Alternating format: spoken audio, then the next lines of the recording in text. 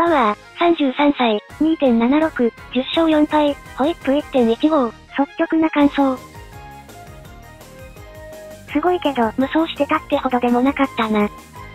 言うて、6月以降で見たら1点台やろ。ブランクあって、日本来た初年度にこれって十分やと思うて。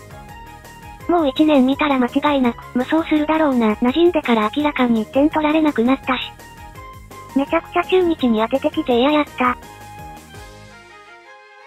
メジャー帰るの？来年も日本なら年俸落ちるやろ。来年残ってくれないかな？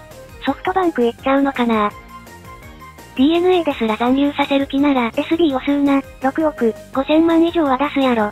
田中、9億、NPD 過去最高年俸と同等ぐらいまで考えられる。一昔前の巨人なら10億でも気にせず絶対取ってたやろうな。